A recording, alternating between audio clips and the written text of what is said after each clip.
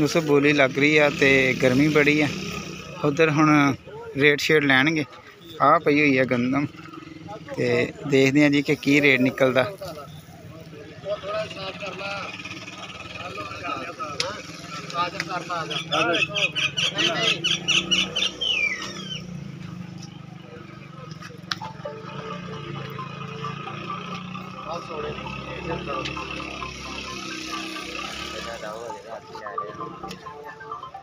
जी सोने मलक साहब due Malak brother.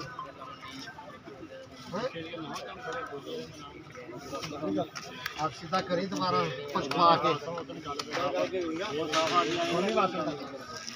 अच्छा जी ਅੱਛਾ ਜੀ ਪਹਿਲਵਾਨ ਜੀ ਮਾਲਕ ਨੂੰ ਕੇ ਪਹਿਲਵਾਨ ਦੀ ਆਵਾਜ਼ ਦੇਈ ਕੋ ਦੇਖਿਓ ਜੀ।